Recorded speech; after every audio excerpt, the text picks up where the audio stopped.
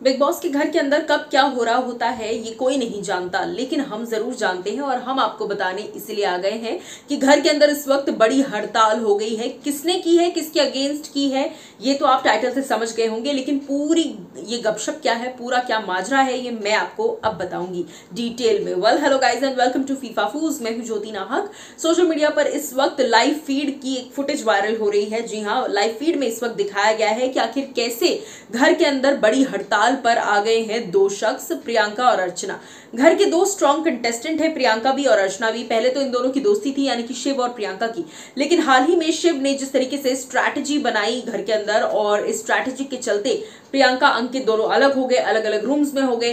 कहीं ना कहीं शिव की ये जो स्ट्रैटेजी है कि सब लड़के एक साथ हो जाएँ यू नो अंकित को भी अपनी तरफ़ ले लिया, शालीन को भी अपनी तरफ़ ले लिया, गौतम को नहीं लिया एज सच लेकिन कहीं ना कहीं स्ट्रैटेजी तो ऐसी ही लग रही है कि सारे लड़के एक तरफ़ हो जाएँ और लड़कियाँ जो है वो सारी एक तरफ़ हो जाएँ। इसलिए छह लड़कियों को एक साथ रूम ऑफ़ सिक्स में डाल दिया गया है। अब मैं आपको बताऊँ कि इन सारी चीज़ों पर प्रियंका ने माइंड से एक बड़ा थॉट निकाला है। जी हाँ अपने दिमाग का इस्तेमाल करते हुए प्रियंका ने गेम खेलना शुरू कर दिया है और उस गेम खेलने के चक्कर में प्रियंका इस कदर हड़ताल पर आई है। ये देखिए मैं आपको इस वक्त दिखाती हूँ एक तस्वीर। ये है अभी की तस्वीर, यानी कि इस वक्त घर के अंदर प्रियंका सोती नज़र आ रही हैं कुछ इस तरीके से।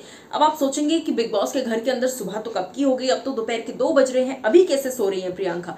लाइव फ़ीड में ये दिखाया जा रहा है कि प्रियंका ने हड़ताल कर दी है और इसी के चलते शिव उन्हें कॉन्स्टेंटली उठाने की कोशिश कर रहे हैं, लेकिन वो उठ नहीं रही है। क्या बातचीत हुई है वो भी आपको बताऊँगी, लेकिन जैसा मैंने तस्वीर दिखाई, सबसे पहले तो ये प्रियंका की तस्वीर है घर के अंदर सोते हुए और एक और तस्वीर मैं आपको दिखाती हूँ। जी हाँ ये है दूसरी तस्वीर। अर्चना बेड पर सो रही है और सामने गुस्से में शिव यहाँ पर बैठे हैं। देखिए, शिव आए हैं और शिव ने आकर बकायदा वार्निंग दी है दोनों को। जी हाँ क्या कहा है मैं आपको बताती हूँ। शिव आते हैं, कहते हैं, सो मत, लास्ट वार्निंग दे रहा हूँ अर्चना।